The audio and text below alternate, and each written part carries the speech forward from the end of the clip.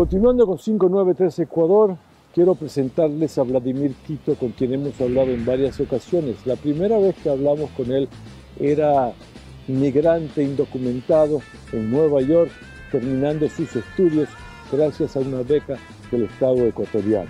Se fue al Ecuador para cumplir con las condiciones de esa beca, trabajó, prestó sus servicios allá y ha hecho algo que no creo ha hecho ningún otro ecuatoriano. Regresó a los Estados Unidos no solamente con documentos legalizados, sino trabajando para una representación consular del gobierno ecuatoriano en el consulado de New Jersey.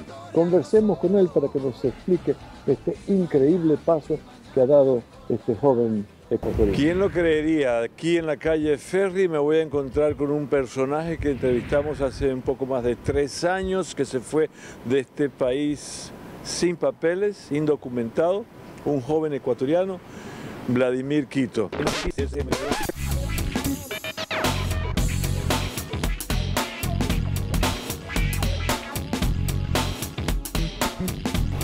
Nombre es Vladimir Quito, vengo de la ciudad de Quito y llevo en este país 10 años y estoy ya el día de mañana listo para el regreso al Ecuador y poder contribuir con el desarrollo del Él país. supo aprovechar las oportunidades que la vida le dio. Una beca para hacer estudios superiores en una importante universidad acá, regresó al Ecuador, se despidió en el aeropuerto y ustedes lo vieron con su mamá un paño de lágrimas, no se imaginó que ibas a regresar tan pronto, porque fue pronto Así tu es. regreso. Sí, sí, tres años, casi tres años. Yo me siento bastante, un poco triste, pero más contenta de haber, em, de que mi hijo haya culminado sus estudios y pueda, pueda regresar al Ecuador a ejercer su profesión. Esa es la, la ilusión de él, ¿no? Esa es la profesión que a él le gustó, que a él eligió. Yo estoy feliz si mi hijo es feliz. Te seguimos en Ecuador, vimos lo que estuviste haciendo, cómo encontraste el país, cómo, cómo lo dejaste.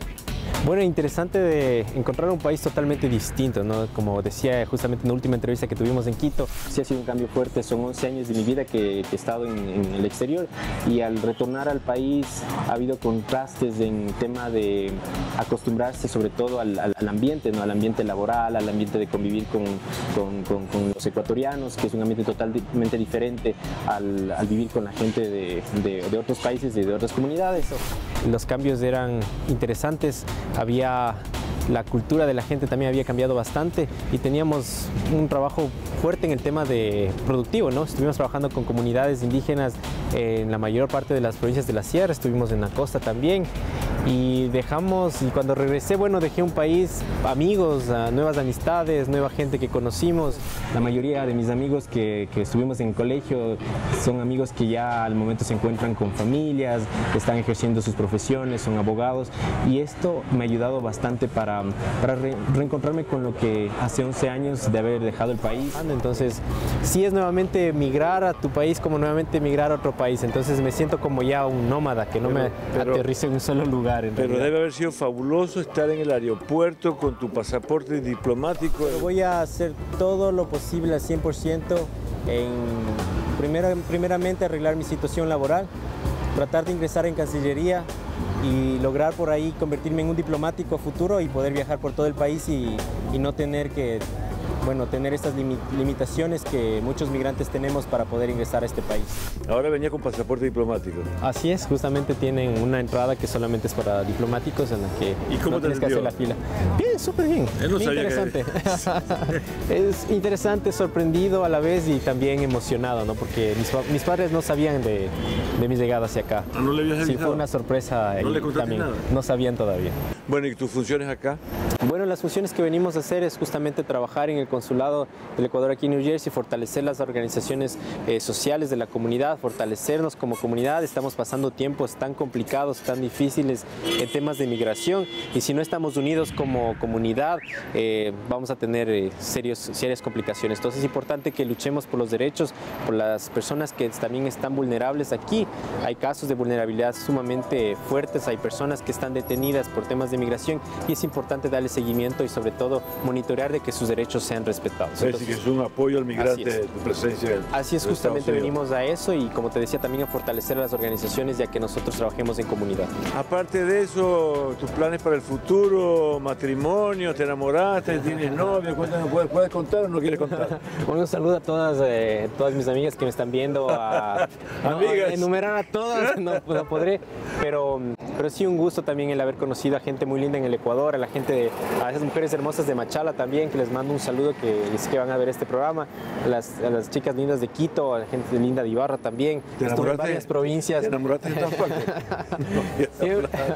Entonces todo eso, bueno, es una experiencia chévere que se la pasó en el Ecuador y, y a futuro obviamente se vienen proyectos nuevos, eh, entre esos, bueno, está el y siempre llega el, amor de su vida, ¿no? En algún momento, entonces veremos si será aquí, si será en el Ecuador, es algo incierto, entonces vamos a ver qué es lo que pasa, será una entrevista también, parte de la entrevista en el futuro. La, la parte quinta de la entrevista, es decir, que no hay quinto malo, la posibilidad de que Vladimir Quito se case y podamos estar presentes en el matrimonio. Después estaremos presentes cuando nazcan los niños y después cuando se casen los, nietos.